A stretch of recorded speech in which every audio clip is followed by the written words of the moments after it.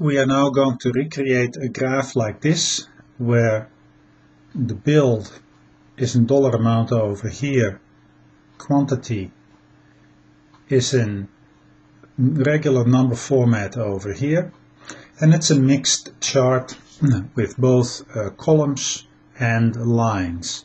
Uh, and for convenience I've placed the legend at the bottom over here. First we're going to highlight the data.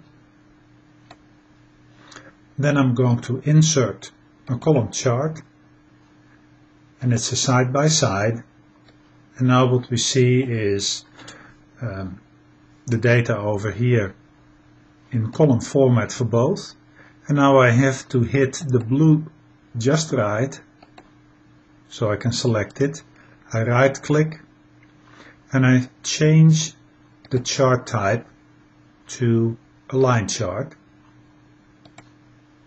and that looks good already except that this blue line is kind of low and we'd like to have it its own values over here on the right side of the chart. So what we simply do is we select the blue line again, right click, format data series and we'll do it on the secondary axis. And now for convenience we're going to move over here the legend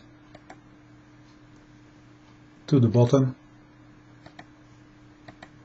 And now we have recreated the chart at the top